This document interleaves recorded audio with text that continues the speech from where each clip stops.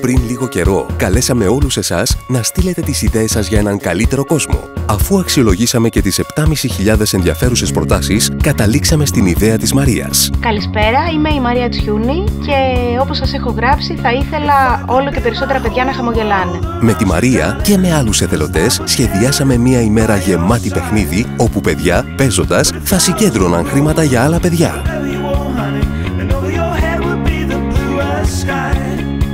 Έτσι στήθηκε το μεγαλύτερο ανθρώπινο Pac-Man.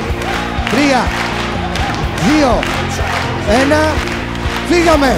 Όσο πιο πολλοί πόντι θα κερδίζονταν από τα παιδιά, τόσο πιο πολλά χρήματα θα συγκεντρώνονταν από την Κοσμοτέ για το Χατζικυριάκιο Ίδρυμα. Και τα παιδιά αποδείχτηκαν πολύ καλοί παίκτες. 110.000 ευρώ! Τις επόμενες μέρες, στο Χατζικυριάκιο Ίδρυμα, η ιδέα της Μαρίας έγινε πραγματικότητα. Η εξασφάλιση ιατροφαρμακευτικής περίθαλψης και θέρμανσης για ένα χρόνο, η ολοκένουργια παιδική χαρά και η ανανέωση χώρου χάρισαν χαμόγελο στα πρόσωπα των παιδιών.